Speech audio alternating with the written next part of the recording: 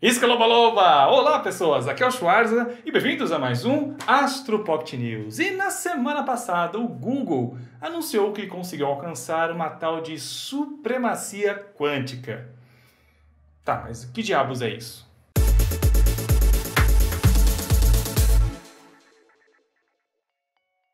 Mas antes de começar o vídeo, deixa eu fazer um pedido para você que ainda não é inscrito ou inscrita nesse canal. Se você gosta de ciência, tecnologia e física, recomendo que se inscreva no canal, porque sempre falo disso aqui e você vai ter assuntos para falar nas festas de fim de ano. Então, se você quiser ter assuntos sempre, toda semana um assunto diferente para comentar nas festas, se inscreva no canal clicando nos botões aqui abaixo. Agora vamos à notícia de hoje uma colaboração entre pesquisadores do Google, da NASA e do Laboratório Nacional de Rock Ridge anunciaram que alcançaram um marco tecnológico, a supremacia quântica. No artigo publicado por eles, os pesquisadores explicam que desenvolveram um processador quântico que poderia executar uma tarefa computacional complexa em pouco mais de 3 minutos. Com base de comparação, a mesma tarefa complexa, se executada por um supercomputador convencional de ponta, levaria cerca de 10 mil anos para resolver. Nossa!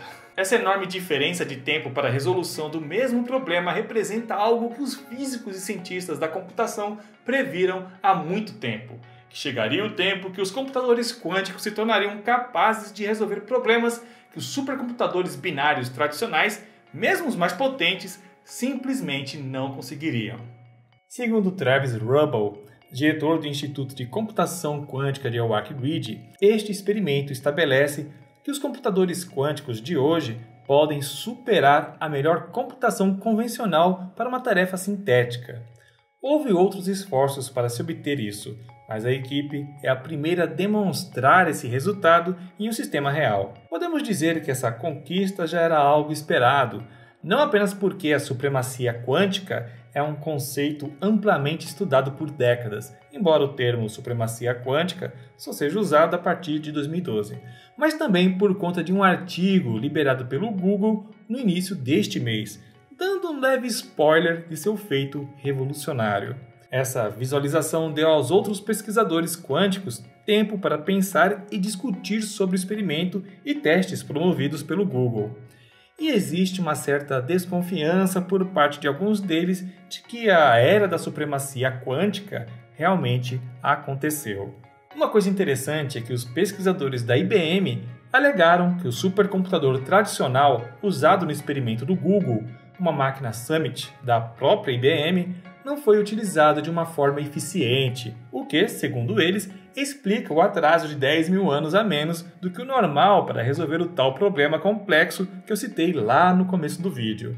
Ao calibrar o Summit de maneira diferente para o mesmo experimento, a IBM argumenta que uma simulação ideal da mesma tarefa pode ser realizada em um sistema clássico em dois dias e meio e com uma fidelidade muito maior. Bom, controvérsias como essa, dada a natureza extremamente técnica e cientificamente absurda da pesquisa e dos conceitos envolvidos, não chega a surpreender. Aliás, até isso já havia sido previsto. Stephen Bartlett, da Universidade de Sydney, disse em uma entrevista que, embora acreditemos que alguns cálculos quânticos estarão fora do alcance de qualquer computador convencional, é um desafio argumentar que qualquer conjunto particular de processos não pode ser simulado através de algum truque adequado.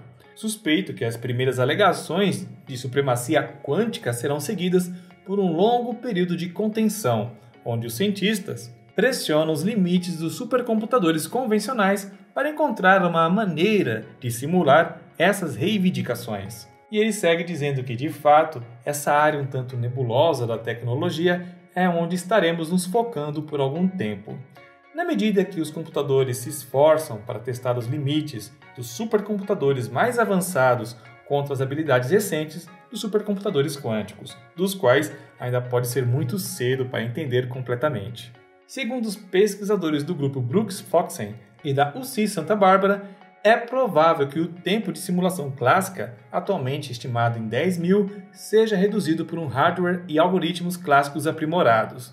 Mas como atualmente somos 1,5 milhão de vezes mais rápidos, nos sentimos confortáveis em reivindicar essa conquista. Em uma declaração para a mídia, o principal pesquisador do Google, John Martinez, respondeu que a argumentação da IBM era hipotética e precisava ser comprovada. Sobre isso, ele disse: Estávamos ansiosos para quando as pessoas realmente experimentassem nossas ideias para o Summit e verificassem nossos dados, pois isso faz parte do processo científico. Não só especular, mas executar e verificar nosso trabalho, e ao mesmo tempo iremos melhorar nossos computadores quânticos. Apesar dessa treta aí envolvendo a IBM e o Google, o fato é que vários dos principais cientistas da computação quântica do mundo estarem tendo esse debate sugere que o horizonte da supremacia quântica, por mais confuso e questionável que possa ser, tenha sido mesmo alcançado. Em um comunicado presente no artigo do Google, William Oliver, pesquisador do MIT, compara a conquista do Google ao primeiro voo dos irmãos Wright. O avião deles, o Wright Flyer,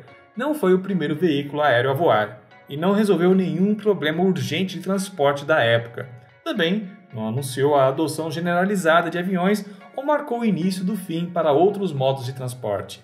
Em vez disso, o evento é lembrado por ter mostrado um novo regime operacional, o voo autopropulsado de uma aeronave que era mais pesada que o ar. Foi o que o evento representou, e não o que ele realizou na prática. E isso foi fundamental. E o mesmo vale para o primeiro relatório da supremacia computacional quântica. É, na minha opinião, questionar os dados faz parte da ciência e é isso que a IBM está fazendo. Mas se estamos assistindo o nascimento de uma nova computação que consegue resolver cálculos de milênios em questão de minutos, estamos assistindo uma revolução. Em uma escala muito, mas muito menor, eu fico lembrando de eu mesmo jogando meu Pitfall lá no Atari, lá com seus 4 kilobytes. Naquela época eu achava aqueles gráficos o máximo. Imagine se fosse possível mostrar para aquele pequeno Schwarz dos anos 80 os jogos de hoje que podem simplesmente simular a realidade na sua cabeça usando um equipamento como VR, com gráficos realistas. O que a computação quântica promete faz esse comparativo que eu acabei de fazer aqui parecer brincadeira de criança. Enfim, deixe a opinião de vocês aqui embaixo nos comentários. O que vocês esperam né, de tecnologia proveniente aí da computação quântica? Né? Eu não consigo nem imaginar, né, devido à escala aí do, do processamento que esse equipamento pode fazer. Bom, deixa sua opinião aqui embaixo nos comentários. E pessoal amante da astronomia, deixa eu falar um pouco do meu Instagram aqui. Você gostaria de ver como seria observar a Terra de Marte ou de Saturno? Quer receber em primeira mão as imagens enviadas pelas diversas sondas espalhadas pelo sistema solar? Então, me siga no Instagram. Lá eu posto todo dia alguma foto acompanhada de informações sobre o espaço. Quer comparativos de tamanhos de buracos negros ou paisagens distantes como de Plutão? Me siga lá no Instagram, é só procurar lá pelo arroba 79 O endereço está na descrição também. Enfim, vou ficando por aqui, espero ver vocês no próximo vídeo. Um grande abraço e hasta!